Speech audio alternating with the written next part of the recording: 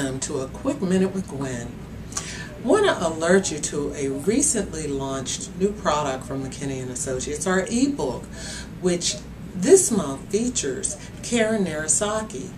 Karen has been a stalwart in the civil rights community and in the Asian American community, and as the outgoing president of the Asian American Justice Center, Karen celebrates a very, very stellar history and career of advancing diversity. And in the ebook, she reminds us that without cliche, diversity is our strength. So I invite you to check out Karen Narasaki at mckpr.com ebooks.